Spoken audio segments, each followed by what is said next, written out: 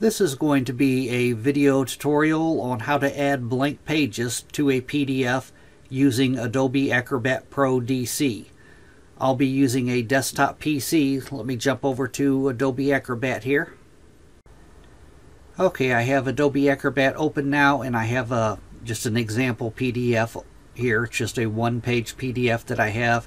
It, you can have as many pages as you want. Mine just happens to be one page to add a blank page to a PDF, what you want to do is go over to the right side pane over here, the little icons over here, and you want to select Organize Pages.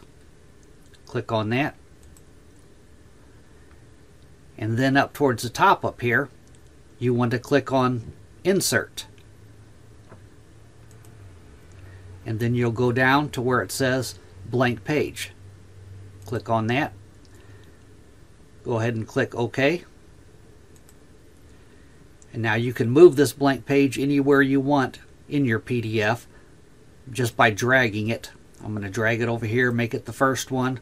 I'll drag it over here and make it the second one. You could drag it anywhere within your PDF that you'd like. And that is how you add a blank page to a PDF using Adobe Acrobat Pro DC. Thanks for watching.